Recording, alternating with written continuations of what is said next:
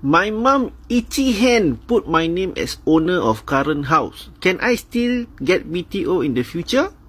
Usually parents do this because need your help to pay using your CPF, maybe. Or secondly, scared that if they pass away, they want to hand over this HDB to you. See your mother think about you, you know, want to give the whole HDB to you. Fully paid some more because HPS will pay for it, right?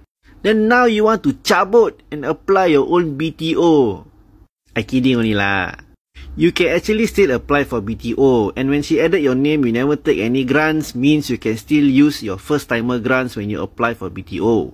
But when you collect your keys, either two things, one of two things must happen. The easy one, sell your flat. So she buy a different house, you buy your go BTO and collect your keys. In this situation, most probably your mom can afford to buy.